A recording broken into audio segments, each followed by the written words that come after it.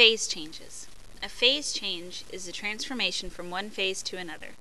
It occurs when energy, usually in the form of heat, is added or removed from the substance.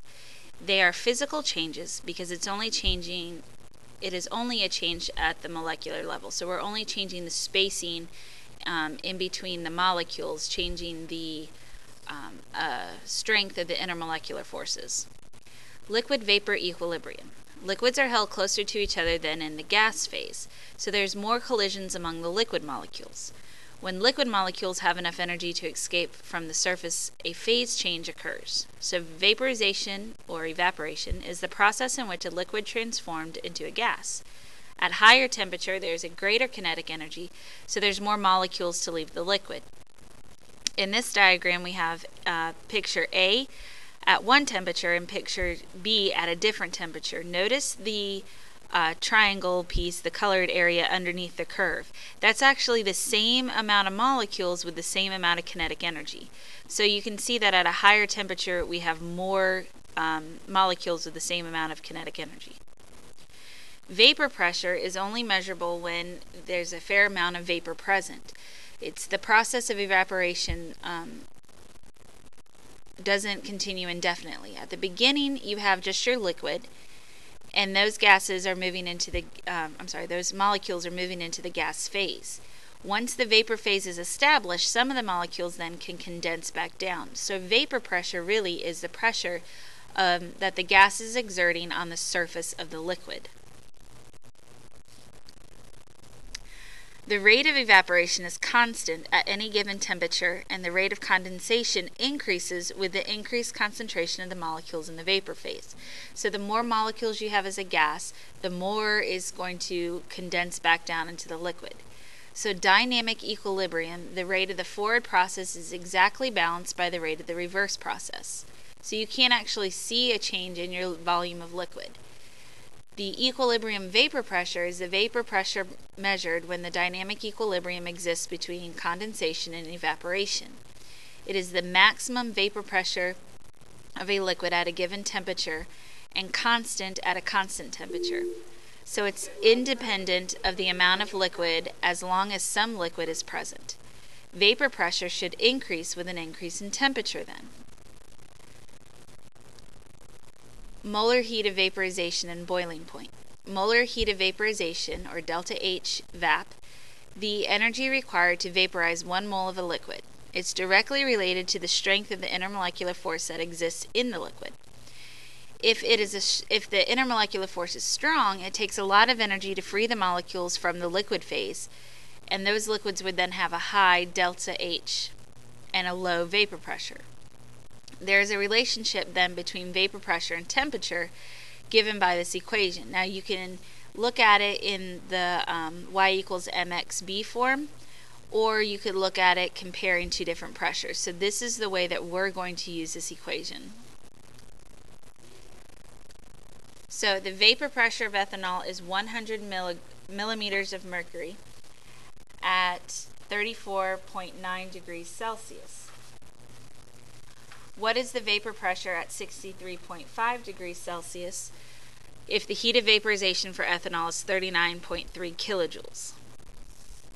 All right, so we're going to take the natural log of our pressure, 100 millimeters of mercury, and we want to know what the new vapor pressure is, so that will be our x.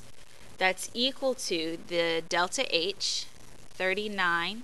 Now, the R value is the ideal gas law constant, 8.314 joules per Kelvin mole. So I need to convert kilojoules to joules.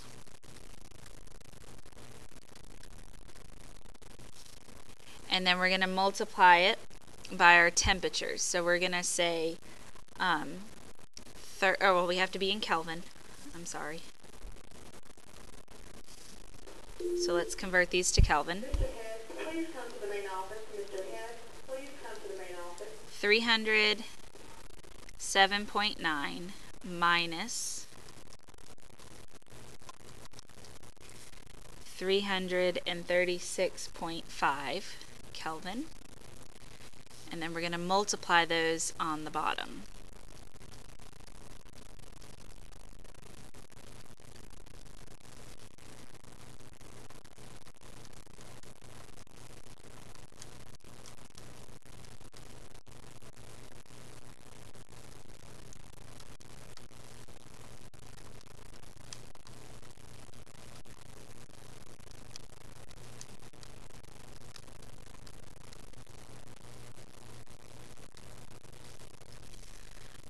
So what we have is the natural log of 100 over x, and that's equaling a negative 1.305 on this side. Now all of these units are going to cancel out. So we're going to take the inverse natural log of both sides. So I have 100 millimeters of mercury divided by x equals 0.2712.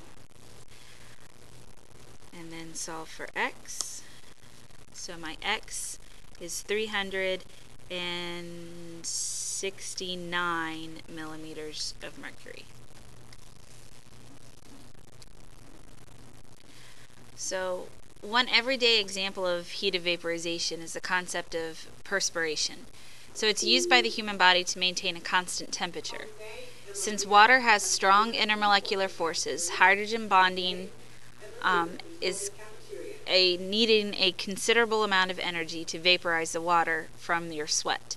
So the energy is supplied by the heat generated in various metabolic processes. So when you exercise, the heat that's building up internally is being um, regulated by sweating. So when we sweat, the uh, water absorbs the heat from our body, so our body is kept at a constant temperature.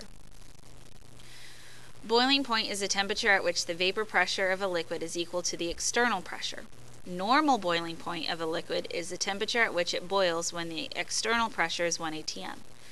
So we have bubbles that form within um, the liquid. So if we look at our beaker, our beaker has bubbles. If we look at a single bubble, that would be the space here, and then this would be the surface or the water that's surrounding that bubble.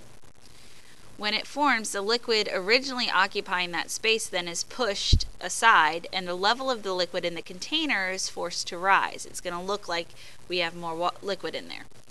The pressure exerted on the bubble is mainly atmospheric pressure, but also some hydrostatic pressure, which is the pressure due to the liquid.